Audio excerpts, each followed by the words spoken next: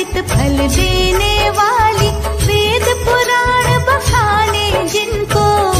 लोग है माने जिनको। है ये श्री नारायण रूप दीनहीन के सखा स्वरूप दुर्गम सुगम बनाते पल में। पल भर देते हैं।